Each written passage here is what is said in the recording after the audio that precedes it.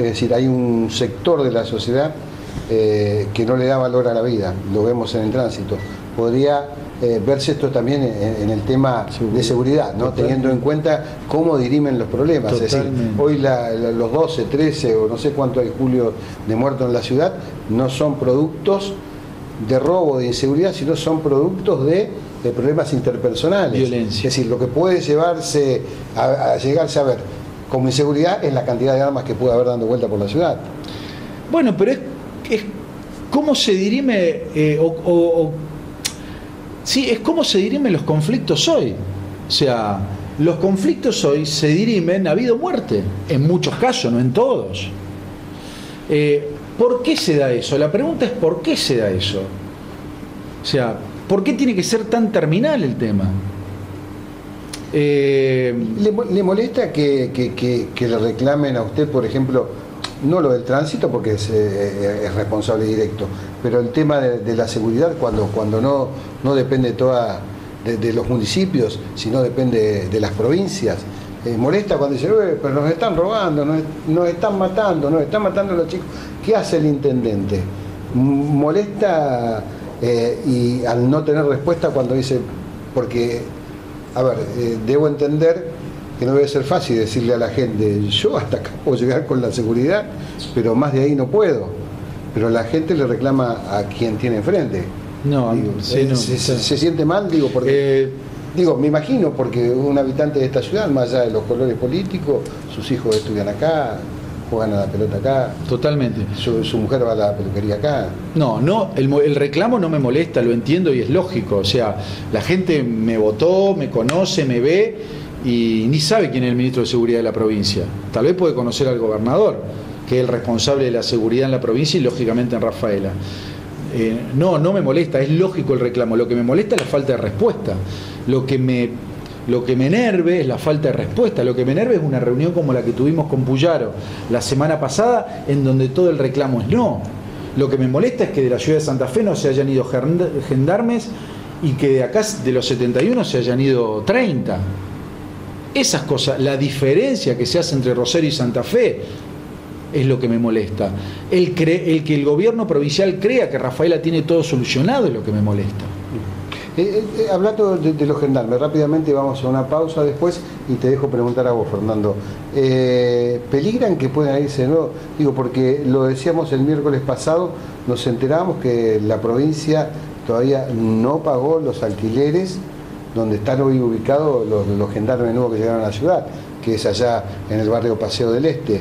Se tienen que estar retirando y se están ubicando donde está el escuadrón vial número 5. Digo, peligra teniendo en cuenta que bueno, o el municipio va a tener que sacar de sus erogaciones para poder conseguirle un lugar a esta gente. ¿Qué va a pasar, intendente, con esto? Porque, a ver, los están desalojando.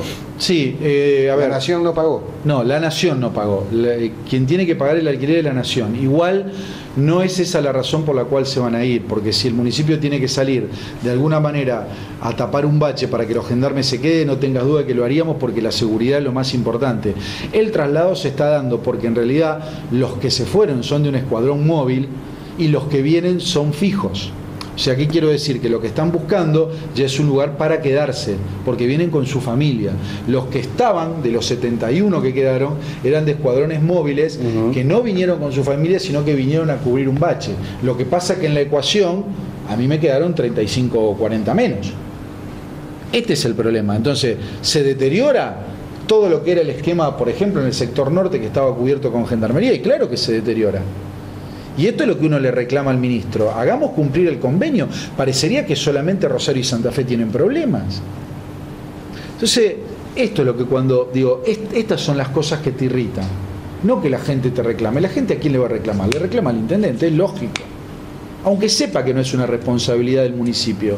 Pero yo soy el que tiene que llevar esa voz a donde corresponde. Y es donde uno espera tener respuesta. Yo creo que en este tema y en el tema del agua, la provincia hace agua en sus años de experiencia como concejal primero, ahora como intendente, eh, tiene bueno que llevar adelante una relación o articulación con el, con el otro poder del, Estado, el poder legislativo, hablamos del Consejo Municipal. Eh, ¿Usted ha notado que en los últimos tiempos el Consejo Municipal se ha tornado eh, más exigente frente a las políticas que lleva adelante el Departamento Ejecutivo Municipal. Por caso, el tema Tribunal de Cuentas, que ahora hemos visto recientemente que, el Consejo, perdón, que, ustedes, el Poder Ejecutivo, ha firmado un convenio con este organismo no gubernamental de profesionales, el CIPEC, para llevar adelante, digamos, eh, con el correr de los años una evaluación de las políticas, del impacto de las políticas públicas eh, y así tratar de mejorar la, gestión eh, todo lo que se pueda. ¿Ha visto un consejo más, más exigente en estos últimos tiempos? Yo creo que el consejo ha puesto el eje en la transparencia, por lo que veo, por lo menos la oposición y el oficialismo, porque también hay proyectos presentados por parte de nuestro bloque, como por ejemplo, que seguramente en algún momento lo van a, lo van a avanzar, que es el tema de las declaraciones juradas, yo creo que es un proyecto para avanzar, ha puesto el eje en la transparencia. A mí me parece bien eso. Yo creo que lo mejor que podemos tener los funcionarios públicos, después de los ejemplos que vimos en el último tiempo con respecto al manejo de los fondos públicos, es someternos a la evaluación de la gente. Pero la política no puede investigar a la política. Por eso no han dado resultados los tribunales de cuentas. Decime vos cuántas personas, funcionarios, fueron presos como consecuencia, digo, en el gobierno provincial, como consecuencia de una denuncia y de una ejecución del Tribunal de Cuentas de la provincia. ¿Cuántas obras fueron observadas y suspendidas como consecuencia de que no daban valores técnicos o que los procesos no fueron transparentes? ¿Cuántas licitaciones fueron trabadas por el Tribunal de Cuentas de la provincia? Ninguna. Pero es la política que investiga la política y eso no sirve. O sea, lo que nosotros tenemos que hacer, en vez de retroceder para lo que sabemos que no, dio resultado, es pegar un salto hacia adelante viendo lo que hacen en materia de transparencia los países más desarrollados. Y los países más desarrollados lo que hacen es, tienen agencias de control, organismos de control, que lo maneja la sociedad civil. Y ya no, solo el Ejecutivo, sino también el Consejo Municipal se tiene que someter a la evaluación de la gente en el manejo de los fondos públicos, pero también en su producción. ¿Cuántas horas labura un concejal? ¿Cuántos proyectos presentó? ¿Cómo funciona, por ejemplo, eh, o qué impacto tiene una política que llevó adelante un área del Departamento Ejecutivo? ¿Cómo, ¿Cuántos fondos se utilizaron para esa política y con cuánta gente se vio beneficiada? Eso es lo que hay que mirar. Porque yo puedo ser muy honesto y puedo no tocar un peso, pero si lo que hago es totalmente improductivo, si yo no vengo a trabajar si yo no aparezco nunca, si yo tengo otro trabajo, y la verdad que lo que no estoy, lo que estoy haciendo es no investigando nada. O sea, lo que la gente quiere de las personas a las cuales vota para representarlo es que transformen la realidad. Y eso es lo que mide un organismo. Eso es la manera en que un organismo, como se hace en los países desarrollados, mide, evalúa y monitorea la actividad que hacemos los funcionarios públicos, tanto del Poder Ejecutivo como del Poder Legislativo. O sea, no podemos volver para atrás con un tribunal de cuentas que es algo absolutamente obsoleto. O sea que esto también pone en la lupa, por así decirlo, al Consejo Municipal y su labor, eh, su labor legislativa. A todos nos pone en la lupa. Y yo creo que los concejales, todos los concejales, yo, todos tenemos que tener la humildad de someternos a la evaluación de la sociedad civil y abrir transparentemente todo, como está en nuestra página de gobierno abierto. Hoy entras, ves mi sueldo, el sueldo de mi secretario, el de los empleados, las actividades que hacemos. ¿Por qué no lo tiene que hacer el Consejo? El Consejo también tiene que mostrar transparentemente todo. Si todos somos funcionarios pagados por el Estado. Este convenio posiciona también a Rafaela como el primer caso eh, en el país que se, somete, digamos, a, este tipo de evaluaciones. Eh, esto va más allá del análisis o monitoreo de las cuentas públicas, ¿no? A ver, esto es un organismo de control y transparencia, no es solo de transparencia, de control y transparencia, porque lo que analiza también son los procesos. O sea, si los ¿Cuál es la función de las auditorías? La función de las auditorías, primero es combatir la corrupción, o sea, ver que no haya nadie que se haya llevado parte del dinero público a su casa. Pero también, otra cosa importante es ver cómo son los procesos.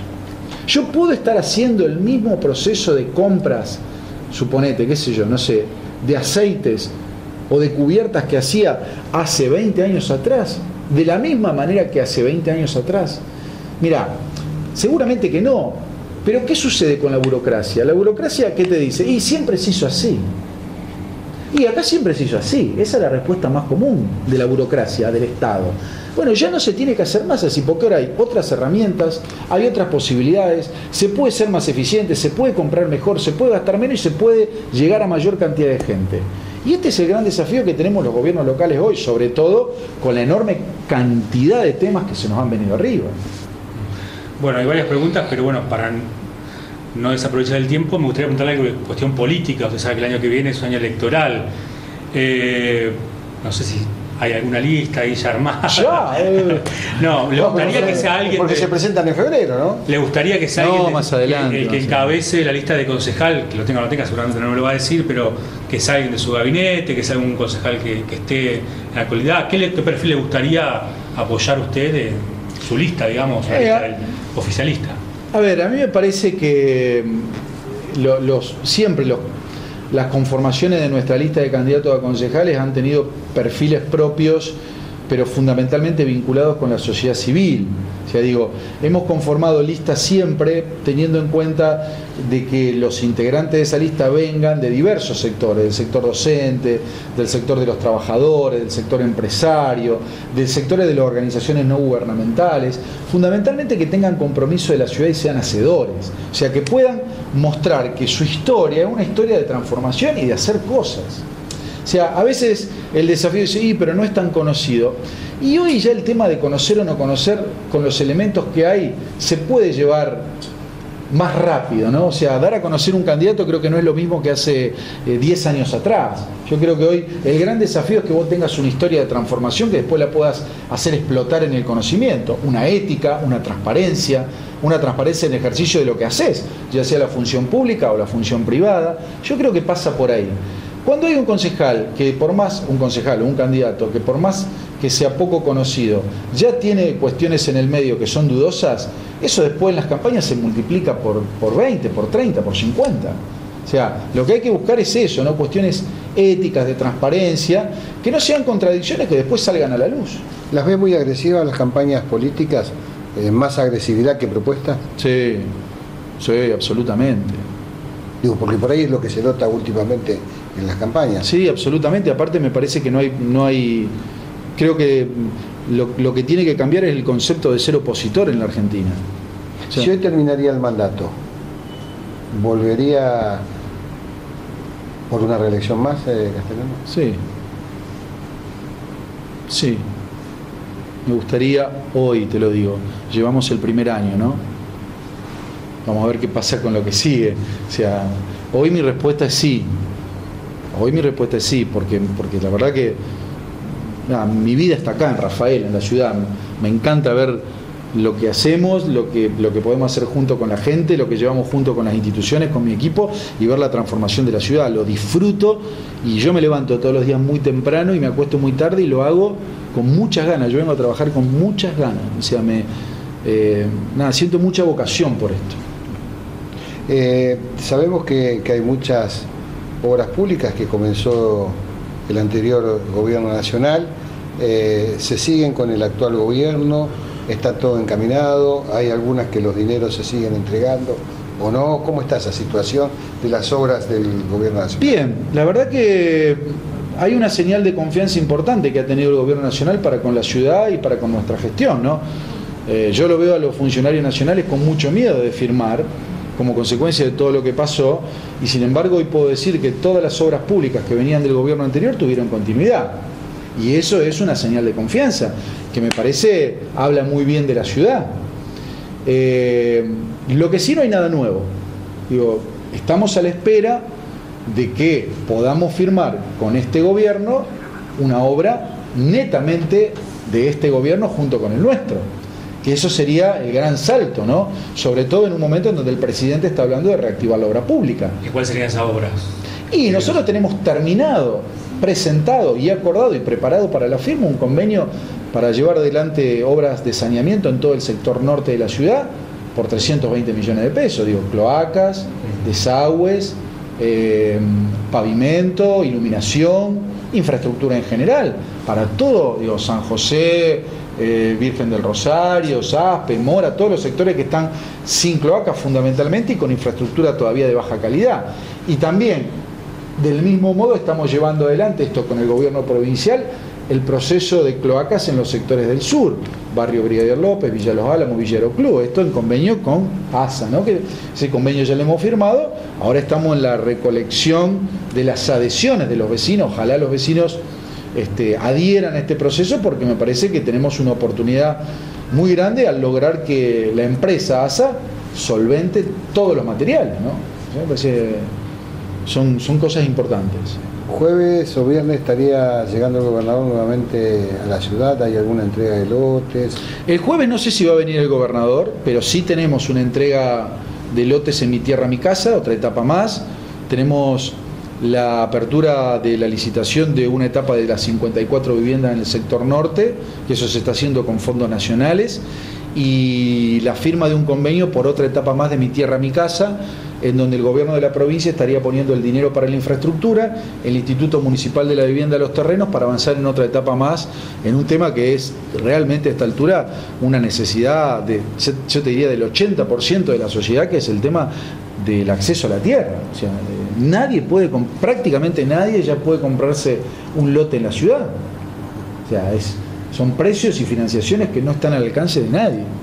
Sabemos que más allá de los convenios y esta relación que hay con la provincia por esto, mi tierra, mi casa, loteos o viviendas, también le ha pedido al gobierno nacional cuando se entregaron las 132 viviendas, lo que es el tema de la media luna, como se lo conoce. ¿Qué le contestaron? ¿Tendrá que viajar a Buenos Aires para gestionar esto? Y lo vamos a ver el año que viene. Eh, hemos charlado con Iván Kers, eh, del subsecretario de Vivienda de la Nación.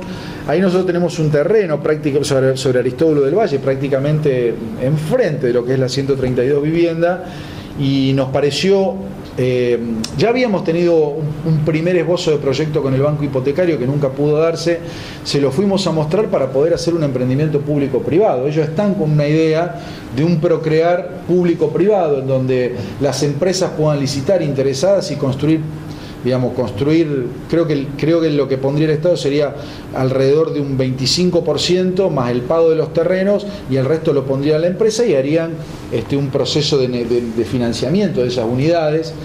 Bueno, interesó, lo vieron bien, eh, hay que ver cómo avanzan con esto. Es complejo la cuestión pero yo creo que el gobierno, el gobierno nacional tiene un desafío aún más importante que es reactivar el crédito hipotecario. Si no reactiva el crédito hipotecario, que es lo que termina derramando mano de obra en la actividad privada, ahí vamos a estar en una, en una dificultad, porque la obra pública genera, y yo creo que va a haber obra pública, pero, pero la que termina de derramar fundamentalmente en, en el sector medio y medio trabajador de la parte informal es la obra privada, o sea, la construcción de viviendas, las remodelaciones, eh, bueno, el arreglo de plazas, las veredas, este tipo de cosas son los que terminan ayudando mucho a la economía informal. Eh, nos queda pocos minutos y tengo que dejar para que el intendente pueda saludar por la fiesta de fin de año a, la ciudad. ¿Hay alguna pregunta por allí? Porque si no a mí me quedan varias. No, yo quería preguntarle sobre el tema del agua, que cada verano se transforma digamos, en un condicionante, en un condicionante muy importante. ¿Sigue siendo así esta problemática? No digo el agua de lluvia, digo el agua que consumimos todos los rafaelinos. A ver, eh, yo no me voy a cansar de decir de que hasta que el gobernador no comience la obra del acueducto, no entramos en tiempo de descuento. Y todo lo que pasa sigue siendo parche tras parche. Eh, ya pasaron tres años, de tres años y medio de la visita que hicimos al supuesto acueducto que había empezado y que se nos venía diciendo de que llevaba porcentajes de avance importante. Y ese acueducto no está, y no estuvo ni siquiera el proyecto. Ahora por primera vez en esos tres años, Darío Buscarol presentó el proyecto o el anteproyecto bastante avanzado, pero eso se tiene que licitar. El día que el gobernador licite la obra, sea adjudicada y comience el tendido de caños, vamos a empezar a correr tiempo de descuento. Y decimos, bueno, seguramente de acá a dos, tres, cinco años vamos a conectar ese acueducto a lo que es la red de distribución en Rafaela y podemos empezar a pensar en el futuro de la ciudad. Hoy tenemos el crecimiento y el desarrollo de la ciudad absolutamente coartado por la falta de agua y de gas. Son los dos temas, son los, los dos tabiques que nos impiden pensar en los 150 años si no se desarrolla. O sea, si no se avanza en el gasoducto y en el acueducto, ahí tenemos, estamos encorsetados en el proceso de desarrollo y crecimiento.